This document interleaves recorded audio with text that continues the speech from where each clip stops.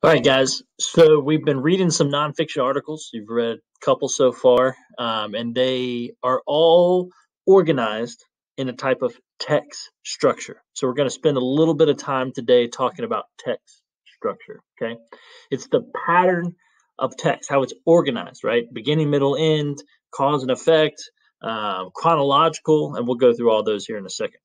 Okay. So, what is text structure? It's how text is organized or constructed, how it's put together, how it's built, how the author wants you to understand information. Okay, we study text structure to help our analysis and deepen our understanding of what we read, right? So when we understand how a book is put together, how an article is put together, it makes it easier for us to read it and understand it. Okay, understanding how and why the author used a certain text structure can help you analyze and then respond to questions like author's purpose, the main idea, the central idea, argument, things that we've been working on all year in graphic organizers. Okay.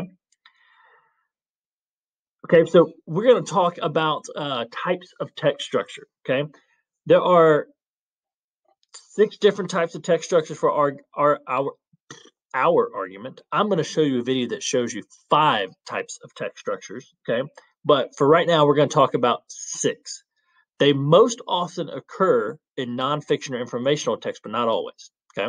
So you've got chronological or narrative organization. So things happen in order, like Frederick Douglass's story, A Long Walk to Water, different things like that. You've got sequence or process, first, second, third, fourth. You've got compare and contrast, where you're comparing two or more things. Okay, you've got cause and effect. So this happened, which resulted in this happening. Got a problem and solution. We present a problem and you give a solution, right?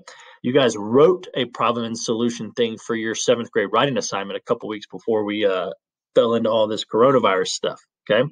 Then you've got main idea and descriptions. They give you a uh, the main idea and then they describe what's going on with that. Okay. Our first one is chronological or narrative. Okay, so text is organized in terms of time first, next, then, finally, before. It's going in order. Chrono equals time, chronological, right? It's often found in fictional text or narrative nonfiction. Narrative nonfiction is like Frederick Douglass, something that is true, but it was told like a story. Okay. Our next one is sequence or process. So our information is organized in steps. Think about like almost like following instructions. Okay.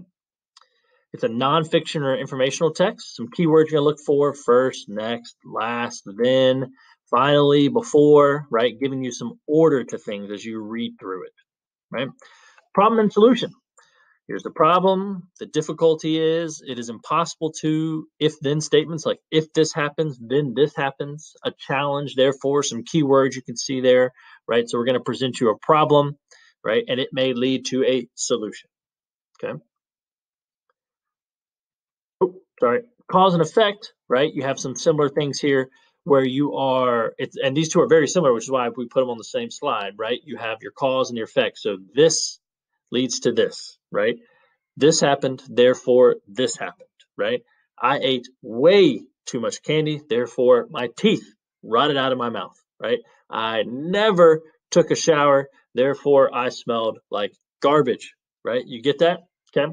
So Compare and contrast. This one's easy. We've been doing this all year. You are comparing and contrasting items, right? Similar to juxtaposing, right? We talked about juxtaposing with Salva and Nya and how they were compared and contrast throughout the story, how they were how they were juxtaposed.